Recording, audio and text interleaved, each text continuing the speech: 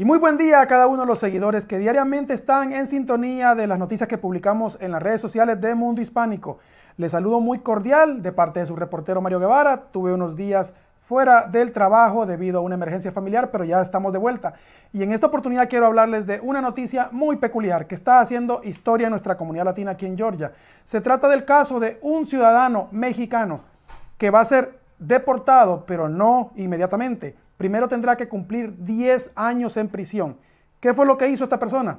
Según las autoridades del condado de Winnet, manoseó a una niña de 5 años con la que vivía. Todo ocurrió tras un descuido de la abuela de la pequeña. Las autoridades lograron comprobarle al juez estatal que este sujeto manoseó.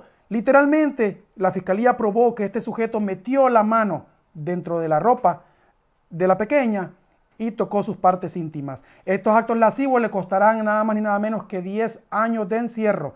La más fuerte de esta parte de la noticia es que la familia le había rentado una habitación a este sujeto. Esta persona, sin conocerla, sin saber sus antecedentes, en un momento de descuido, tocó la niña. Esto es algo muy peculiar que ocurre seguido en la comunidad latina. He tenido la oportunidad de hablar con varios psicólogos al respecto y nos han comentado claramente de que muchas personas ignoran las estadísticas. La mayoría de los abusos sexuales dentro de la familia ocurren por parte de una persona allegada, ya sea amigo o familiar cercano, como por ejemplo un primo, un tío.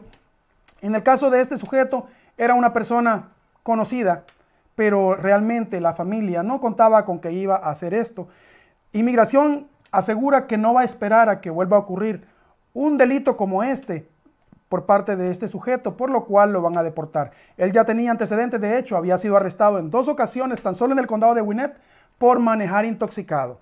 Vamos a ver cómo le termina de ir después de estos 10 años de encierro. Siga pendiente con las noticias que en Mundo Hispánico le vamos a seguir dando en el transcurso de esta semana. Tenemos varias investigaciones en curso y manténgase en contacto. Por ahora me despido, su reportero y su amigo Mario Guevara. Recuerde, lo vio primero aquí. Gracias.